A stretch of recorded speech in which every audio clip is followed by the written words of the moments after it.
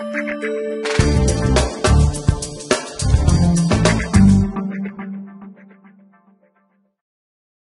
talking with Scott Griest out of Anaheim, California, American Finance Solutions. Um, in the growing world of alternative lending for small businesses, Scott, give us a 101 on what alternative lending is. Right, well, alternative lending is uh, an alternative to traditional bank loans for small and medium-sized businesses. It comes in a couple different forms. Uh, fastest growing segment something called a merchant cash advance. And what that is, it's not a loan, it's actually a sales contract where a business is selling their future receivables uh, to the finance company at a discount. Now, some people have called this payday um, loan type lending for small businesses. What are the rates that you charge your typical customers?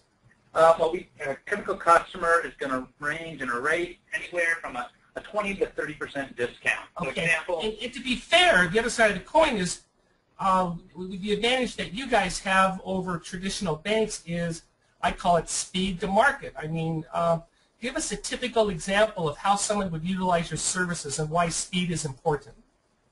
Really, our clients typically use us to take, uh, take advantage of an opportunity. Occasionally use it to get them out of a, a small jam. Um, how they use it is they apply with us. In about a week, they get their financing. I'll go through a typical transaction. Average client gets about $25,000 in financing from us for that $25,000, what's their daily payment? I've always been intrigued on the daily repayment. Well, I'll go to explain it. So with that 25000 we may be purchasing 30000 of their future uh, receivables, okay. under the credit card receivables. So you can see the distance, costing them $5,000 to access 25000 Okay. And over what period of time do they have to repay this loan? Generally about 9 to 12 months. Okay. okay average cool. contract time is about 9. We do about 12. Um, obviously, the longer the time frame, the less expensive the money is. So tell me about tell me your underwriting. Now, if you can fund these loans in a week, uh, pretty sophisticated computer algorithms. Tell us how that works. Right. We use a proprietary uh, data algorithm to score the to score our business risk. We also pay, uh, price our contracts on the basis of risk.